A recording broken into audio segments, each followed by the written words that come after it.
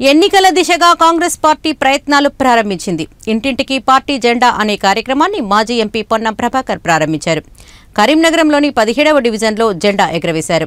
శక్తి యాప్పై కార్యకర్తలకు అవగాహన కల్పించాలని సూచించారు. ఎన్నికల్లో కాంగ్రెస్ పార్టీని గెలిపించాలని అభ్యర్థించారు.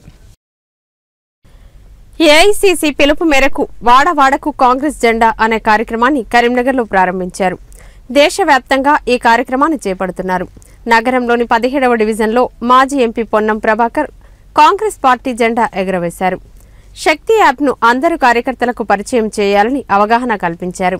ఈ కార్యక్రమంలో మాజీ ఎంపీ పొన్నం ప్రభాకర్తో పాటు డీసీసీ అధ్యక్షుడు మృత్యుంజయం రాష్ట్ర కాంగ్రెస్ అధికార ప్రతినిధి పేట రమేష్ రాష్ట్ర మహిళా కాంగ్రెస్ ప్రధాన కార్యదర్శి మాధవి నగర కాంగ్రెస్ అధ్యక్షుడు రాజశేఖర్ ఫ్లోర్ లీడర్ ఆకుల ప్రకాష్ తదితరులు పాల్గొన్నారు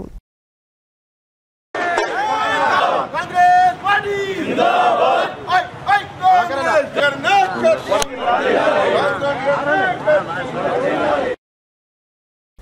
గ్రామ గ్రామాన వాడవాడన జెండా ఎగరవేసే కార్యక్రమాన్ని ప్రారంభించామని మాజీ ఎంపీ పొన్నం ప్రభాకర్ అన్నారు.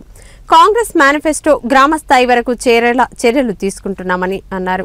కాంగ్రెస్ నాయకులు కార్యకర్తలు తమ తమ ఇండ్లపైన జెండా ఎగరవేసుకుంటూ వాహనాలకు సైతం కాంగ్రెస్ జెండాను పెట్టుకోవాలన్నారు. రాష్ట్రంలో కాంగ్రెస్ను అధికారంలోకి తీసుకువచ్చేలా ప్రతి కార్యకర్త ప్రయత్నించాలని సూచించారు.